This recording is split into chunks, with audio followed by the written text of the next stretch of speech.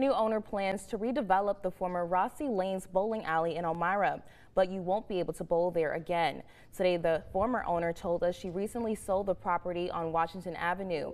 On Facebook, the owner of the 420 Novelty sticker shop in Elmira said he is the one who bought it. Christopher McKinkle said because of zoning laws, the property can't reopen as a bowling alley. He is asking the community for ideas on what it should become. Rossi Lanes first opened in 1936. It closed during the pandemic.